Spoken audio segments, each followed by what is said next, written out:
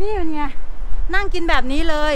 เรื่องของฝุ่นเรื่องของความไม่สะอาด ตอนนี้ไม่สนใจแล้ว สุขลักษณะไม่มีแล้ว ตอนนี้ เอาเป็นว่าต้องรอดอะ Tell me what to do. Show me how to feel under your control. Everything is real. ผู้ติดเชื้อในอเมริกาตอนนี้ ทะลุ3ล้าน6แสนคนค่ะ คือมีผู้ติดเชื้อสูงสุดนะคะ 70,000 คนต่อวัน So hit me.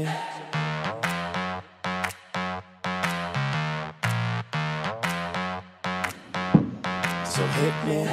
Good afternoon, everybody. Uh, wanted to update you on where we are in terms of California's COVID 19. So, again, these are sectors to close indoor operations.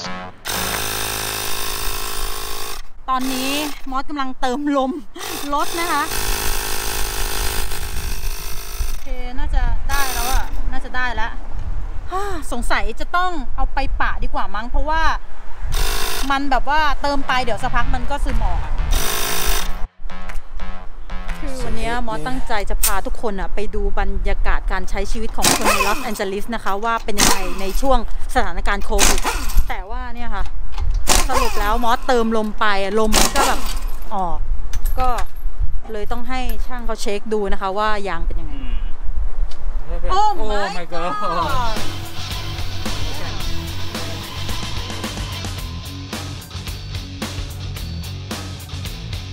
ถ้าแบบว่ามอสขับมาแล้วแบบว่ามันหลุดนี่คือยางแบนฟึบเลยนะ คือมันคาอยู่รูใหญ่มากแล้วเป็นสนิมมากเลยอะดูดิอะไรอะโอ้โหบ้าโมโหอะนี่ไงเจ้าตัวปัญหาโอ้โหคือตอนแรกเขาบอกว่าถ้าปะยางอะเสียที่ 17 เหรียญหรือประมาณ 450 แต่ว่าเขาบอกว่าข้างๆอะปะไม่ได้หรือว่าปะไปมันก็จะรั่วอีกเขาก็เลยแนะนำว่าให้เปลี่ยนยางใหม่ แต่ตอนแรกว่าจะเปลี่ยนยางใหม่แล้วเขาก็บอกว่าเดี๋ยวอันเก่ามันมียางเก่าอยู่มันก็เป็นยางมือสองไปแล้วกันยางมือสองที่นี่เขาก็มีหลายราคานะคะมี 60 เหรียญ50 เหรียญมอสก็เลือกแบบ 50 เหรียญหรือประมาณ 1,500 บาทไทยนะ แล้วเดี๋ยวช่วงจังหวะรอบมันเดี๋ยวมอสค่อยเปลี่ยนใหม่หมดสีเส้นแล้วกัน เลิกไม่ดีเลยอะวันเนี้ยเอาเป็นว่าเดี๋ยวปล่อยให้ช่างเขาทำไปนะคะ เดี๋ยวมอสจะพาไปที่ไหน ไปเลยค่ะ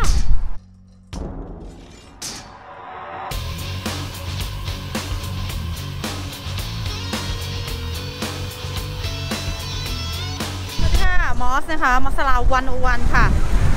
หลายคนติดตามคลิปมอสนะคะ แล้วก็ถามว่าสถานการณ์โควิด ตอนนี้เป็นยังไงบ้าง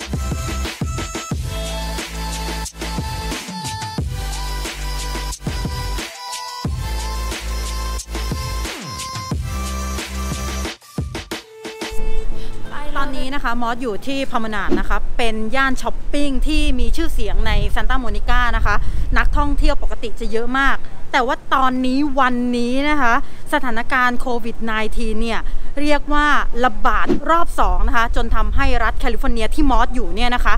สั่งปิดอีกรอบหนึ่งเมื่อ 2 วันที่ผ่านมา อาทิตย์นี้ค่ะ ตัวเลขผู้ติดเชื้อขึ้นเป็นเท่าตัวอยู่ที่หนึ่งหมื่นหนึ่งพันกว่าคนต่อวันนะ คือแบบได้ยินแล้วแบบว่าใจหายมากนะคะ คือทั้งแคลิฟอร์เนียเนี่ยตอนนี้อยู่ที่ 3 0 0แสนกว่าคนนะคะ ถึงแม้ว่าสถานการณ์ตัวเลขยังพุ่งสูงขึ้นนะคะ มีการสั่งปิดรอบ 2 แต่ว่ายังมีร้านค้าที่เขายังอนุญาตเปิดได้ คือทางการก็ยังย้ำนะคะว่าขอให้ทุกคนถ้าออกมาในที่สาธารณะเนี่ยให้สวมใส่ face covering นะคะ คือไม่จำเป็นต้องเป็นหน้ากากอนามัย แต่ขอให้มีผ้าหรือมีอะไรเนี่ย มัด แล้วก็รักษาระยะห่าง แล้วก็พยายามล้างมืออะไรบ่อยๆนะ คือเนี่ยสิ่งที่ทางการเขาต้องการ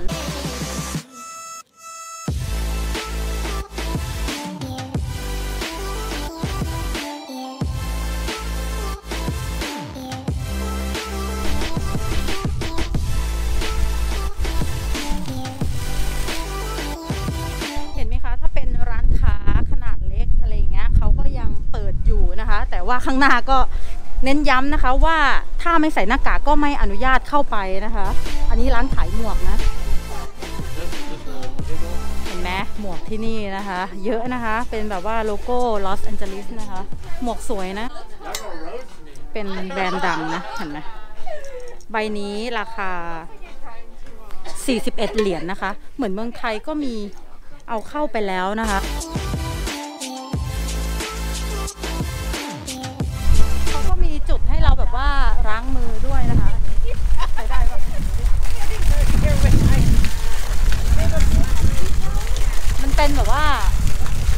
างมือแบบเคลื่อนที่อะปกติมันจะต้องไปอยู่คู่กับห้องน้ำอันนี้ ก็กดเท้ากดแล้วก็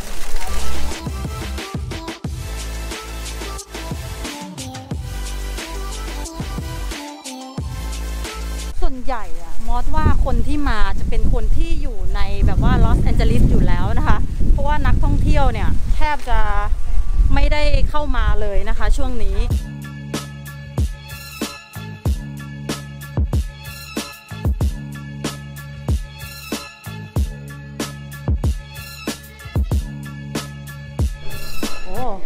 อันนี้เป็นคู่แข่งกับเทสลานะคะ เป็นรถไฟฟ้า ใช้ได้เลยนะ ราคาเท่าไหร่ Polestar 1. Polestar One ว้าว cool Two more model So this was the launch, the Halo carbon body, definitely more higher performance, อ่าฮะ but starting at about 155. And then the Polestar 2 right behind it, Oh. starting at 59. 59อ๋อก็ตัวรถเก่งนี้นะคะ เป็นรถไฟฟ้าคล้ายๆกับเทสลาเลยนะคะ เขาบอกว่าราคาอยู่ที่ประมาณ 1 5 0 0 0 0 กว่านะคะ คิดเป็นเงินไทยก็ประมาณ4ล้าน5แสนนะคะ นี่รถไฟฟ้าทั้งหมดนะ4ล้าน5แสนแต่ว่ายังไม่ได้รวมภาษีนะคะ ถ้ารวมภาษีไปอยู่เมืองไทยก็แพงอยู่นะ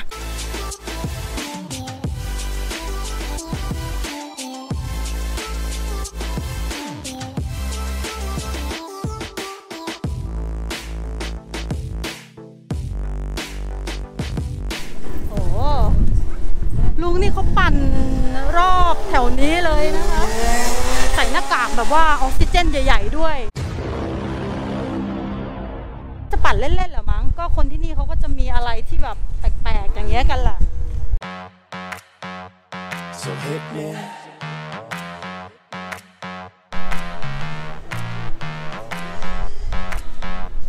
So hit me. ที่นี่มีหลุยส์วิกตองด้วยนะคะ กระเป๋าแพงแบรนด์เนมดีๆ ก็แบบว่า ไม่ได้ว่าลูกค้าหายไปนะคะ คนก็ยังเลือกที่จะเข้ามา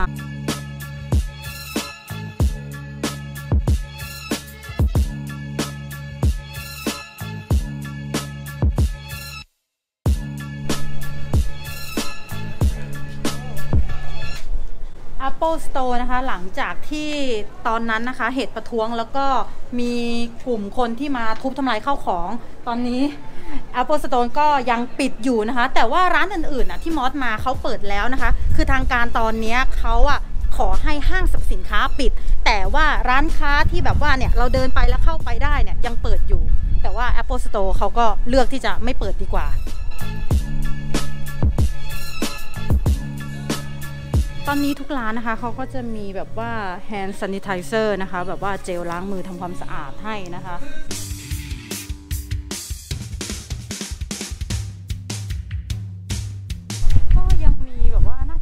เที่ยวหรือเปล่าข้างหน้าเราเขาก็ยังมาเดินซื้อของ เออ นี่คือความเป็นจริงนะคะ ที่เกิดขึ้นในลอสแอนเจลิสก็เดี๋ยวไปทางนี้ดีกว่า ตรงนี้จะเป็นแบบว่าอาหารนะคะ อันนี้ก็รถไปรษณีย์ของที่นี่นะครับก็เป็นรถไปรษณีย์ของรัฐบาลนะคะ USPS เขาก็จะมีคันเล็ก คันใหญ่ แต่ว่าเนี่ยก็จะเป็นเอกลักษณ์ของเขา และข้างขวามือมอสนะคะ นี่คือร้านอาหารนะคะ เดี๋ยวมอสต้องบอกก่อนว่าคือ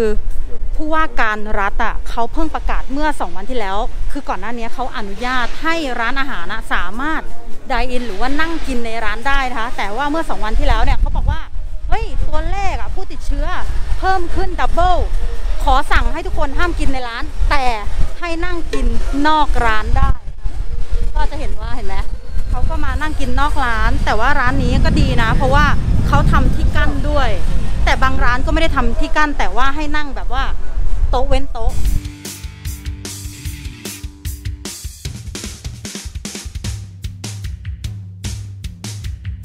บอกว่านั่งกินข้างนอกได้ แล้วบางร้านอะเขาไม่ได้ทำร้านมาแบบว่ามีระเบียงไงเขาก็เลยนี่เลย นั่งกินแบบว่ากลางถนนไปเลยนะคะ คือต้องพูดก่อนว่าในอเมริกาเนี่ยเขาค่อนข้างที่จะซีเรียสเกี่ยวกับเรื่อง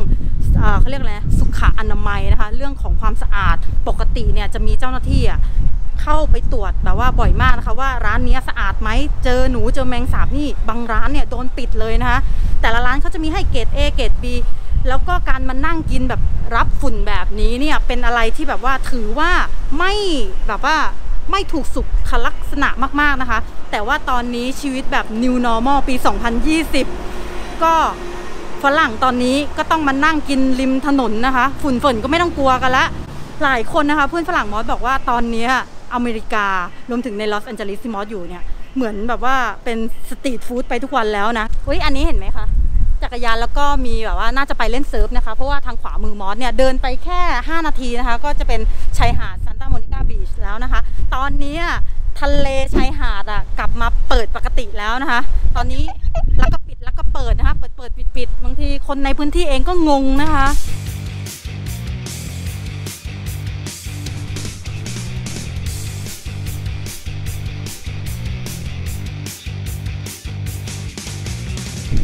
คืออันนี้นะคะ น่าจะเป็นแบบว่าไว้เล่นพวกพิลาทิสนะคะ เป็นแบบว่า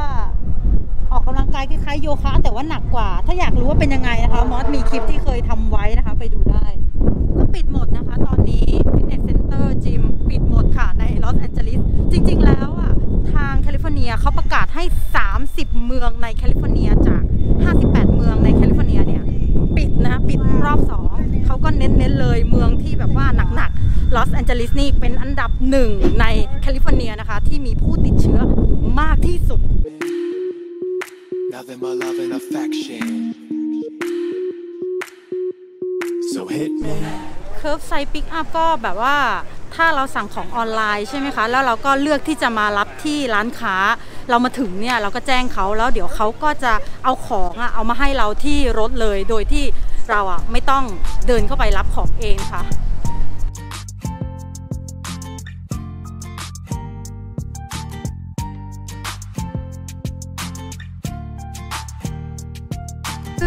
หารนะเขาเปิดใช่ไหมคะ แต่ว่าลืมบอกไปว่าบาร์ที่นี่หลังจากที่เปิดได้2-3อาทิตย์ ตอนนี้บาร์ในลอสแอนเจลิสนะคะ สั่งปิดแบบปิดเลยปิดทุกโซนเลย ตอนนี้ก็ไม่มีที่ให้แฮงเอาท์แล้วนะคะเนี่ยเป็นรถ Uber นะคะ ข้างในอะเขาจะมีพลาสติกกั้นระหว่างคนขับกับคนนั่งด้วย ไม่รู้ว่ากล้องเห็นหรือเปล่านะคะ คือตอนนี้ย Uber ในอเมริกาเนี่ยเขาก็ยัง ให้วิ่งนะคะ แต่ว่า Uber Pool ที่แบบว่ารับหลาย ๆ คนอะ คือไม่ให้รับเฉพาะแค่คนเดียว Uber X อะไรเงี้ย เออเมื่อกี้ก็ดีนะ ป้องกันด้วย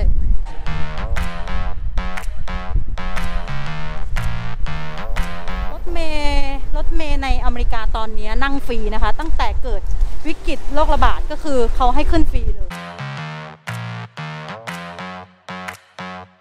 So hit me.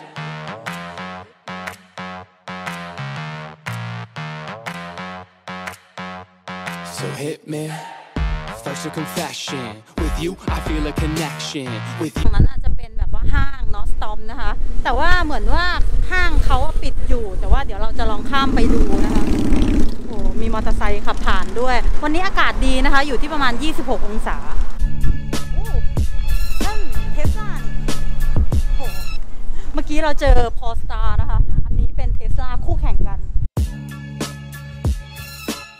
คนเห็นนะคะ ตอนมอสอะไปตามถนนแล้วก็เห็นว่ามีรถเทสลาเทสลาก็คือรถไฟฟ้านะคะ ข้างในเขาแบบเรียบหรูมากเลยอะนี่เหมือนมอสทำคลิปแบบงานมอเตอร์โชว์เลยเนาะพามาดูรถ ด้วยความที่แบบว่ามันมีแบบอย่างเงี้ยรถให้ดูมาก็เลยพามาให้ดูนะคะเห็นไหมมันจะมีแบบว่ามีปีกด้วยอะไฮโซมาก อันนี้เป็นโมเดล X นะคะพอโมเดล X These ones start at 80,000. eighty thousand ก็ประมาณ 80,000 กว่าเหรียญนะคะ ก็ประมาณ Next man. 2 2ล้าน4 2ล้าน5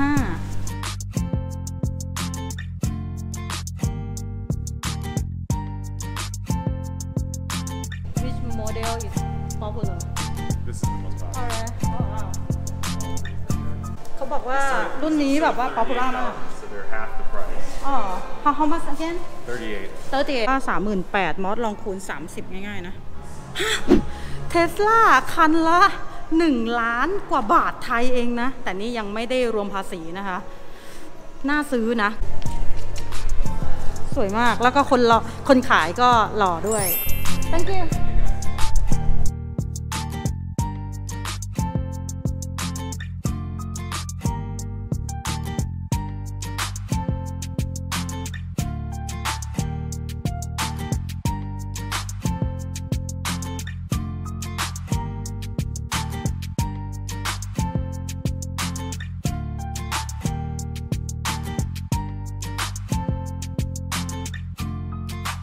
ดีนะคะที่ในลอสแอนเจลิสที่มอสอยู่เนี่ยทุกคนให้ความสำคัญเกี่ยวกับการใส่หน้ากากนะคะไม่ว่าจะเดินไปไหนมาไหน อาจจะเป็นเพราะว่าใน LA เองเนี่ยนะคะเป็นเมืองแรก ๆ ในแคลิฟอร์เนียที่มีประกาศบังคับให้ทุกคนใส่หน้ากาก เพราะฉะนั้นเวลามอสใส่ก็รู้สึกว่าสบายใจนะคะคำว่าสบายใจก็คือว่าบางทีอะนึกออกไหมมอสไปเมืองข้างๆ อย่างออเรนจ์เคาน์ตี้ที่มอสไปอะฮันติงตันบีชเนี้ย มอสใส่ไปแล้วมอสเหมือนตัวประหลาดอะทุกวันนี้ยังคนใส่หน้ากากแถวนั้นยังเป็นตัวประหลาดอยู่นะ ก็นี่ก็เป็นบรรยากาศนะคะ การใช้ชีวิตของคนในลอสแอนเจลิสในอเมริกาที่หลายคนนะกังวลแล้วก็อยากเห็นนะคะ หลายคนก็เป็นห่วงมอสนะคะ ก็ยังไงก็ขอบคุณทุกคนมาก ๆเลยนะคะ เอาเป็นว่าตอนนี้ก็ยังใช้ชีวิตกันแบบอย่างที่เห็นนะคะ ก็ยังมาออกมากินออกมาช้อปปิ้งกันนะคะ แต่ว่าตอนนี้ทุกคนนะก็คือใช้ชีวิตแบบว่าไม่ประมาท ถึงแม้ว่าตัวเลขผู้ติดเชื้อจะยังพุ่งสูงนะคะ คือถามว่าเพราะอะไรทำไมแคลิฟอร์เนียเนี่ย เปิดแค่ 2 3 สัปดาห์ ก็โดนสั่งปิดรอบ 2 คือมอสมองว่า ก่อนหน้านี้มันเหมือนเป็นสะสมอะค่ะ ก่อนหน้านี้อาจจะเป็นเพราะว่าทางการเร่งเปิดเกินไปนะคะทั้งทั้งที่ยอดผู้ติดเชื้อก็ยังเพิ่มสูงขึ้น คือต้องเข้าใจว่าคือปิดนานไปเนี่ยระบบเศรษฐกิจมันก็อาจจะแย่นะคะเขาก็เลยวัดใจอะลองเปิดดู แต่พอเปิดปุ๊บเหมือนว่าทุกคนก็ออกมาใช้ชีวิตกันปกตินะคะ แล้วบางทีอะอ่าเขาเรียกว่าอะไรนะ กาดตกเนาะคือบางคนก็อาจจะลืมล้างมือ ลืมรักษาระยะห่าง แล้วก็ก่อนหน้านี้ก็มีการประท้วงด้วยนะคะ หลายคนก็ไม่ได้ใส่หน้ากากอะไรอย่างเงี้ยก็เลยทำให้ 2-3 สัปดาห์ที่ผ่านมาเนี่ยตัวเลขผู้ติดเชื้อก็เลยเพิ่มสูงขึ้นแบบว่าเท่าตัวเลยนะคะหมื่นคนต่อวันในแคลิฟอร์เนียเนี่ยถือว่าเยอะนะคะสำหรับในทั้งอเมริกาเนี่ยเจ็ดหมื่นคนต่อวันน่ะโอ้โห เป็นอะไรที่ เราก็ไม่รู้ว่าตัวเลขนี้จะลดลงเมื่อไหร่นะคะ แต่ก็มีคนที่เขารักษาหายไปนะคะ ก็ประมาณ 1 ล้านคนนะคะ 1 ล้านรักษาหาย 3 ล้านกว่าที่แบบพบผู้ติดเชื้อ ก็ตอนนี้ก็ได้แต่ภาวนาขอให้เจอแบบว่าวัคซีนนะคะ เอาเป็นว่ายังไงทางเมืองไทยก็อยากให้รักษาสุขภาพด้วยนะคะ อยากรู้ว่าในลอสแอนเจลิสที่มอสอยู่เนี่ยเป็นอะไรยังไงบ้างหรือว่าอยากเห็นอะไรยังไงก็ ฝากคอมเมนต์ไว้ด้านล่างได้นะคะ เดี๋ยวมอสจะดูนะคะแล้วก็ยังไงก็อย่าลืมกด subscribe กดกระดิ่งติดตามนะคะ มอสจะยังนำเสนอทุกแง่มุมในอเมริกามาให้ทุกคนได้ชมกันค่ะ Under your control,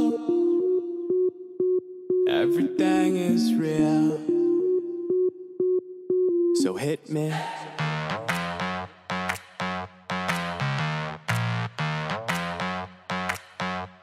So hit me.